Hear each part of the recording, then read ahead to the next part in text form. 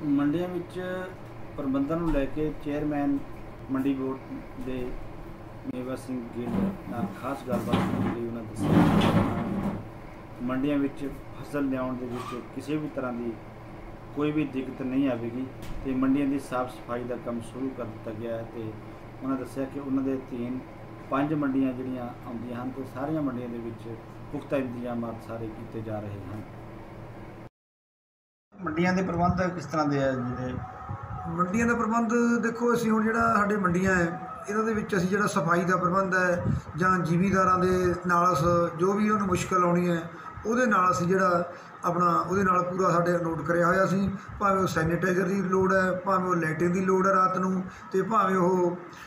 ਉਹਨਾਂ ਨੂੰ ਕਿਸੇ ਹੋਰ ਵੀ ਮੁਸ਼ਕਲ ਹੈ, ਉਹਦੇ ਨਾਲ ਅਸੀਂ ਪੂਰੇ ਟੈਚ ਹੈ। ਇਸ ਕਰਕੇ ਸਾਰੀਆਂ ਮੰਡੀਆਂ ਦੇ ਵਿੱਚ ਸਫ਼ਾਈ ਕਰਾ ਦਿੱਤੀ ਹੈ ਤੇ ਪਾਣੀ ਦੇ ਪ੍ਰਬੰਧ ਹੋ ਗਏ ਆ। ਪੂਰੇ ਪ੍ਰਬੰਧ ਮੁਕੰਮਲ ਹੈ। ਇੱਕ ਤਰੀਕ ਤੋਂ ਬਾਅਦ ਹੈ ਜਿਹੜਾ ਅਗਲੇ ਮਹੀਨੇ ਸ਼ੁਰੂ ਜਿਹੜੀ ਖਰੀਦ ਹੋਣੀ ਹੈ, ਉਹਦੇ ਵਿੱਚ ਜੋ ਵੀ ਮੁਸ਼ਕਲ ਕਿਸਾਨਾਂ ਭਰਾਵਾਂ ਨੂੰ ਆਉਣੀ ਹੈ ਜਾਂ ਆੜ੍ਹਤੀਆਂ ਨੂੰ ਆਉਣੀ ਹੈ ਜਾਂ ਲੇਬਰ ਨੂੰ ਆਉਣੀ ਹੈ, ਉਹਦੇ ਨਾਲ ਅਸੀਂ ਪੂਰਾ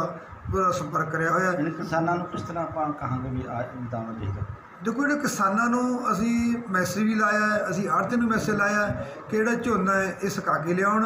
ਗਿੱਲਾ ਝੋਨਾ ਜਿਹੜਾ, ਇਹ ਨਾ ਕੱਟਣ ਇਹ ਕੰਬਾਈਨਾਂ ਨੂੰ ਵੀ ਅਸੀਂ ਹਦਾਇਤ ਕਰੀਏ ਇਸ ਗੱਲ ਦਾ ਕਿਸਾਨ ਭਰਾਵਾਂ ਨੂੰ ਵੀ ਅਸੀਂ ਦੱਸਿਆ ਕਿ ਜਿਹੜਾ ਝੋਨਾ ਹੈ, ਉਹ ਸੁੱਕਾ ਲਿਆਉਣ ਤਾਂ ਕਿ ਜਿਹੜਾ ਉਰੇ ਕੋਈ ਪ੍ਰੋਬਲਮ ਨਾ ਆ ਸਕੇ ਇਸ ਦੇ ਵਿੱਚ।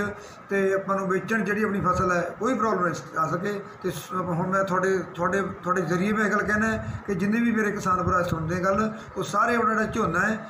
ਸੁੱਕਾ ਲਿਆਉਣ ਮੰਡੀਆਂ 'ਚ ਤਾਂ ਕਿ ਉਹਨੂੰ ਇੱਥੇ ਕਿਸੇ ਕਿਸਮ ਦੀ ਕੋਈ ਮੁਸ਼ਕਲ ਪੇਸ਼ ਨਾ ਆਵੇ।